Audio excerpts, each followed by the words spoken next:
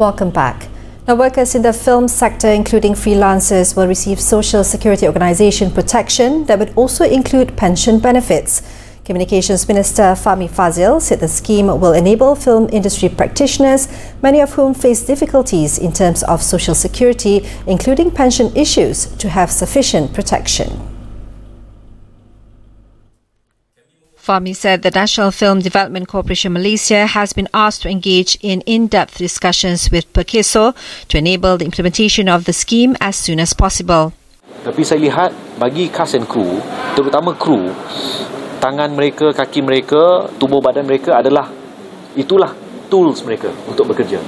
Kalau uh, ada berlaku apa-apa, maka kesannya adalah seumur hidup.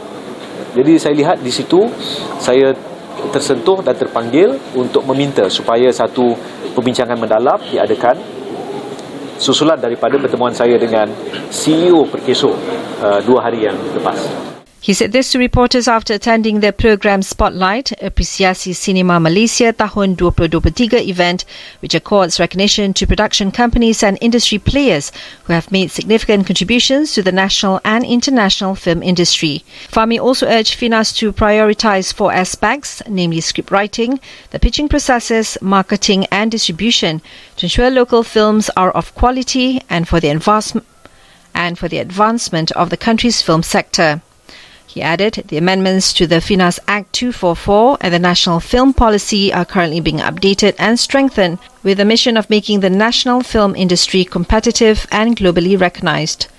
Penjajaran ini juga menunjukkan keyakinan kerajaan terhadap potensi industri filem sebagai salah satu sektor penyumbang kepada ekonomi kreatif dan budaya negara yang menyumbang kira-kira 1.9% atau 28.7 bilion ringgit dari jumlah KDNK merangkumi tenaga kerja seramai setengah juta orang. He also said the production of local films with diverse cultural, ethnic, and film tourism content also has the potential to generate domestic investments. Impact mempromosikan Malaysia melalui medium film dengan mengambil kira penganjuran Tahun Melawat Malaysia 2026, insya-Allah bakal menarik 26.1 juta pelancong asing dan anggaran perbelanjaan domestik sebanyak 97.6 bilion ringgit.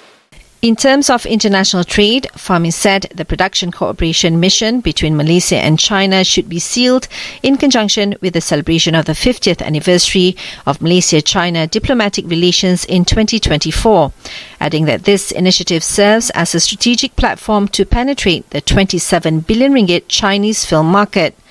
He also said box office revenue for local films this year amounted to 98.8 million ringgit for 56 film screenings.